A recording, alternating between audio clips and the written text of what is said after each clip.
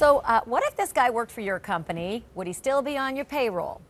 I'm talking about Bob Filner, who's facing a long, very long list of sexual harassment allegations and an ever increasing, resounding call for his resignation. But he is still the mayor of San Diego. And so far, we're not hearing that he's got any other plans but to stay as the mayor of San Diego.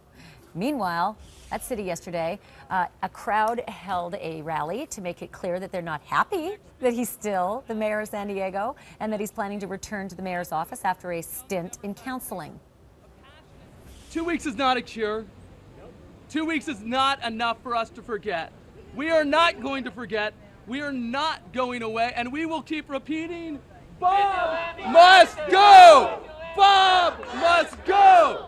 Bob must go! You heard it. Two weeks is not enough. What's he referring to? The rehab. The rehab that he apparently left early.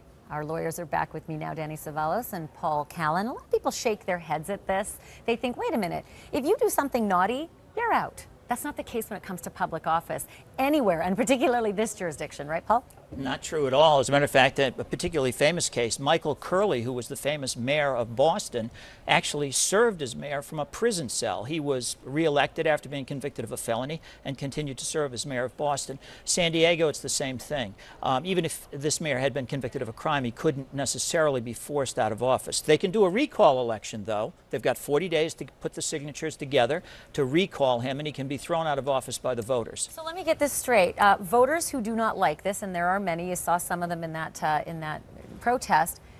They have to go by the recall process. They can't do something like an impeachment or something even more drastic, like just you're fired.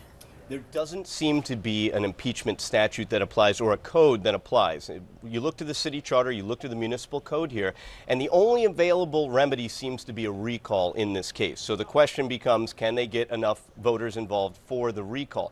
But it stands in stark contrast to California being an at will state, which means for private entities, you can hire or fire for any reason as long as it's not an illegal reason, which is why this case sort of shocks people because when it comes to our public officials, the, the rules are totally inverted. and it doesn't seem like it seems like it should be the other way around, quite frankly. So uh, here's my question: Maybe he could be, you know, like that 1920s mayor and and serve while he's in trouble, and maybe he'll have to spend a lot of time in civil courtrooms because any one of those people who who made those allegations uh, can take this the civil route, right, Paul? Yes, they're talking as many as 13 sets of allegations out there, and they all can file lawsuits against him.